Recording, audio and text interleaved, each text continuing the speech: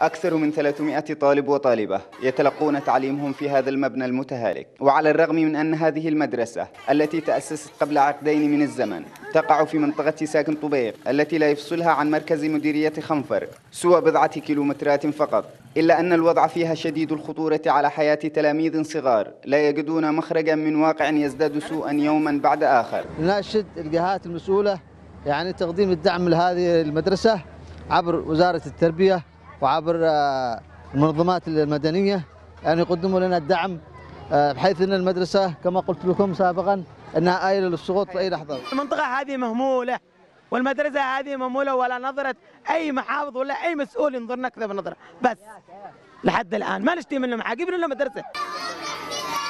فيما تبقى من هذه الفصول المهيئة للسقوط في أي لحظة أو تلك التي تساقطت. يجلس التلاميذ تحت الأشجار ويستمعون إلى شرح المعلمين متناسين الخطورة التي تهددهم وتهدد مستقبلهم التعليمي. مدرسة يعني مكسرة وفي قدامها رصيف السيارات وقواطر تجزع. نحن نقوم مبكرا من الصباح. نذهب مع أولادنا وإحنا خايفين على أولادنا من هذه المدرسة. في مدرسين ممتازين بس المدرسة متضررة. المدرسة مكسرة يعني قصير وشلها من وراء يتذكر الجميع هنا الحادثة التي وقعت قبل أقل من شهر حيث تهدمت الجدران الخلفية لهذه المدرسة. نتيجة الأمطار والسيول ونجا العشرات من كارثة كادت تودي بحياتهم.